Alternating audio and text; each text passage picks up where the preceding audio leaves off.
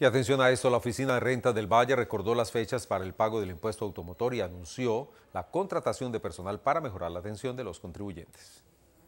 Estas son las fechas estipuladas para el pago de impuesto automotor en el departamento. Las placas del 000 al 333 hasta el 31 de marzo.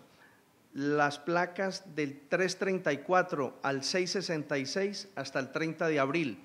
Y las placas del 667 al 699 al 29 de mayo. Las motos de más de 125 centímetros cúbicos también hasta el 29 de mayo. Ante las quejas sobre la falta de personal para atender los contribuyentes, asegura el funcionario que ya están en proceso de contratación. La verdad es que eh, estamos organizando precisamente ese tema para evitar el traumatismo para quienes vienen a pagar el impuesto. Quien no cumpla con el pago del impuesto automotor en las fechas establecidas podría enfrentar una multa de 137 mil pesos.